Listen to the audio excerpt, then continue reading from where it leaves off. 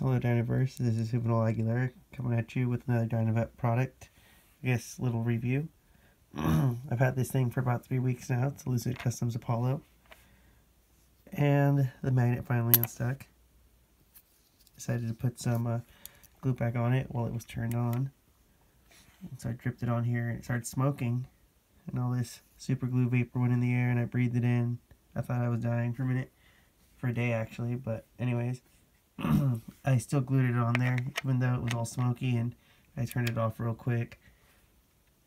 And let it dry overnight, but it still stuck the next day after I used it once or twice. Another problem I've had with it is also I've noticed it doesn't trigger sometimes. Yeah, it's working fine. A lot of the times I have it sitting in there and I'll click it down and it won't go.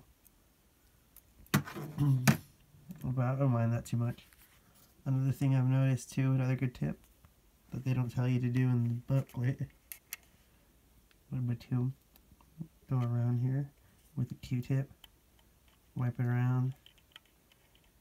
I just did it a minute ago before I filmed this video, so. But anyways, you can see right there all the residue.